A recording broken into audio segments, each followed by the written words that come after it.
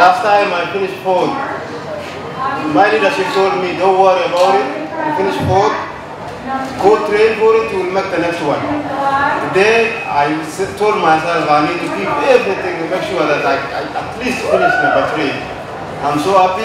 I want to say uh, thank you. Um, this is this thing to finish that is for everybody who is standing in the army. So I'm so happy and I say thank you to everybody.